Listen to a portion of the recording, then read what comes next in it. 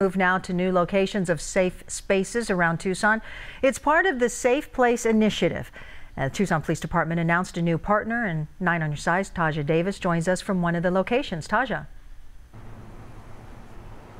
Valerie, now the new partner is Bank of America. So I'm here at, on the east side on one of their locations on Tanque Verde. Now, this sticker that you see here represents the Safe Place initiative that the Tucson Police has been putting out there, and it's an effort led by the police department to reduce anti LGBTQ crimes, bullying, and to encourage the reporting of hate crimes.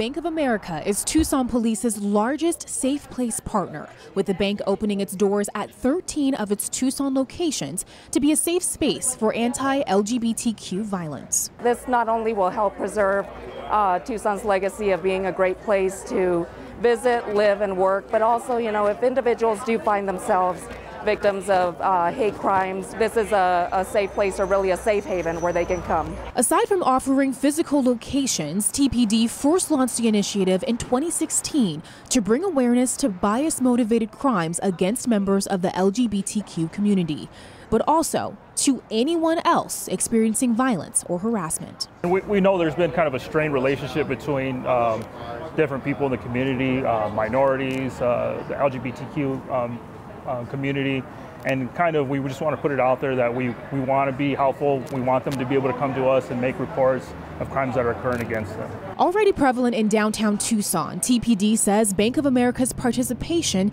expands the Safe Place initiative into more parts of the city. It was only familiar uh, pretty much down 4th Avenue area.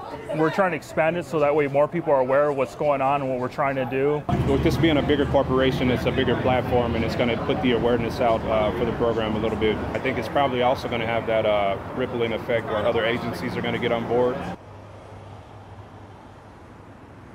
Now, for the full list of the 13 Bank of America locations in Tucson, go ahead and visit our website. Taja Davis, KGUN 9 on your side. And Taja, thank you. In our